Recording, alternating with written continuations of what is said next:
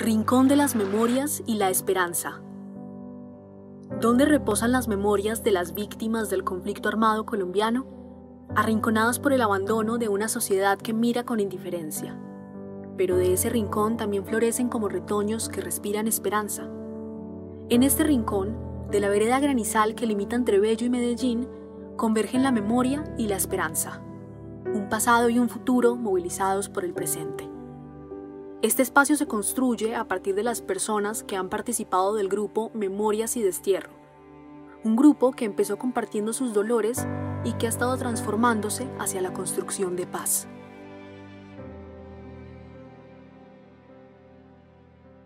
Bienvenidos al Rincón de las Memorias y la Esperanza. Soy desplazada del Chocó y pues aquí estamos en este día para darles la bienvenida a todos ustedes que con mucho gusto y con, mucha, y con mucho amor les presento el grupo de compañeras de Memorias y Destierro.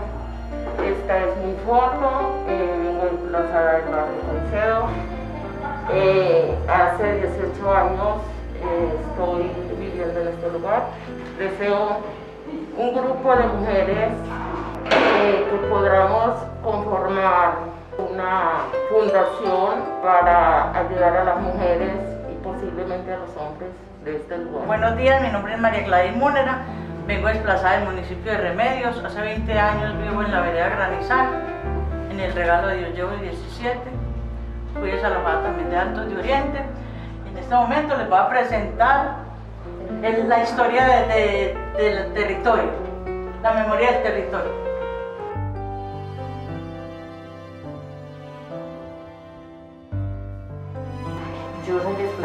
Chipurodó.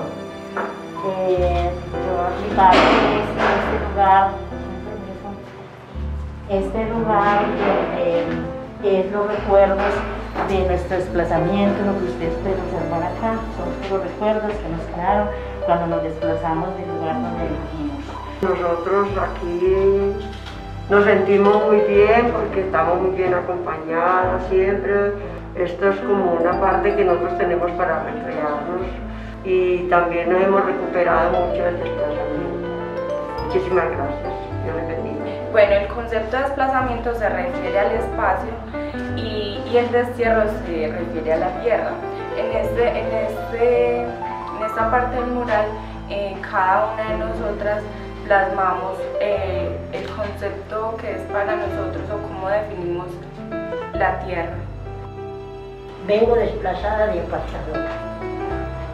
Hace 19 años que vivo aquí en la vereda. Y los invito a que compartamos esta receta del sabor de la memoria. Estos son lo que, que nosotros comíamos en el apartado cuando, antes de ser desplazados. Aquí está de todas las personas que vemos en este, en este lugar y y los invito para que lean, para que conozcan todos los sabores de la memoria.